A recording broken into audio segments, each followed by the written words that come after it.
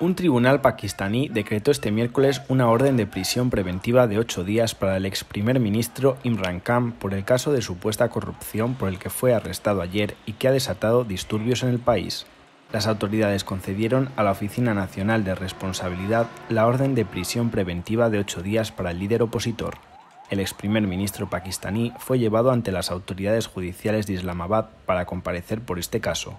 El arresto de este carismático líder encendió las calles del país, sobre todo en la provincia oriental de Punjab, la más poblada del país, donde el ejército se ha desplegado para controlar a los manifestantes.